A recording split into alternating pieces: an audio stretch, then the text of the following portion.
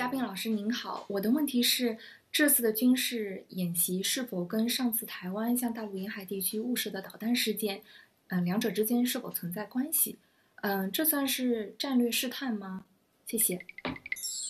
啊，这位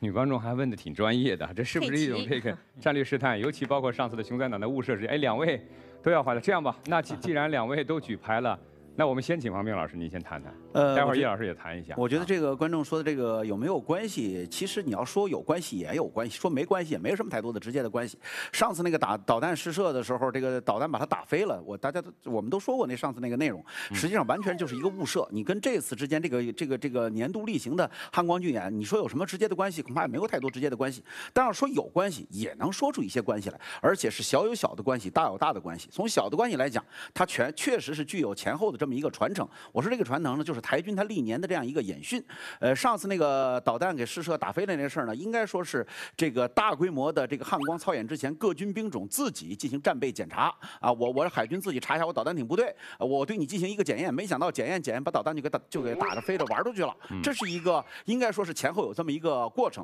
说有大的关系，我觉得真正大的关系是大家可以看，从上次那个导弹打飞的事件到最近这次这个汉光的军演中，呃，车翻沟里去了，坦克掉掉到河里去了，包括这个导弹打不出去了，我觉得这是一脉相承的，体现了这样一支军队到现在为止不知为何而战，也不知道以后打起来自己会是什么样子。所以平时这种演习基本上就是一个糊弄，糊弄得了就糊弄，糊弄不了继续糊弄这么一种感觉。至于这种糊弄，把站在那个检阅台上在那儿来看他们糊弄的那个现在所谓的最高统帅，呃，这个已经吓得浑身发抖。我只能说，这个事儿就不要再害怕了。毕竟那个导弹没打出去，你应该觉得很庆幸。要是像陈水扁在任的时候，那个导弹，那个海尔法导弹直接奔着演习台打过来，那恐怕就不是吓得他发抖的问题了，他就要钻桌子的问题了。所以这点事儿发抖真的不是什么太大的事儿。真到了地动山摇的时候，恐怕就不是他这点发抖能解决问题的时候。嗯，海林老师刚才也举牌了，我您怎么看？倒我倒是觉得，其实也不能把这个事情看得太简单，因为、嗯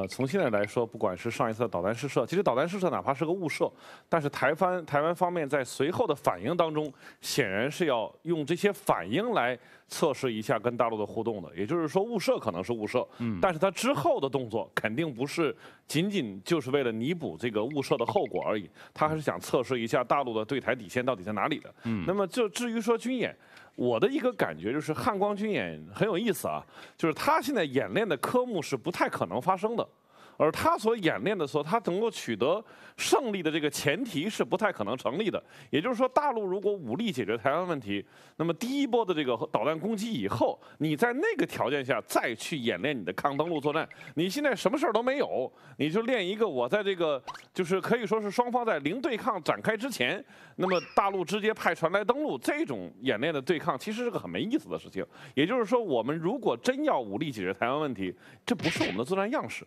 那你练这个东西干什么呢？在一个已经进入到可以说是高科技时代，台军所演练的这种战术战法，跟上世纪五六十年代差不多的情况下，那只能说这种演练是在给蔡英文制造一种非常虚幻的台湾是有防卫的这样一个印象，而这个印象非常危险，就是一个职业的。有军事素养的领导人会看得出来，你这支武装力量保护不了你。但是如果像蔡英文这样的人，他看到这样的一些动作以后，觉得，哎，我的还不错，那么这个信号就比较危险了。最可怕的事情是什么呢？是那些其实没有能力防卫的人，以为自己金刚不坏。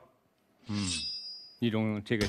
假想。我觉得看台湾这个军演，我们应该有一个这么好的比，应该有这么一种比较好的心态，那就是看台军演习，认真你就输了。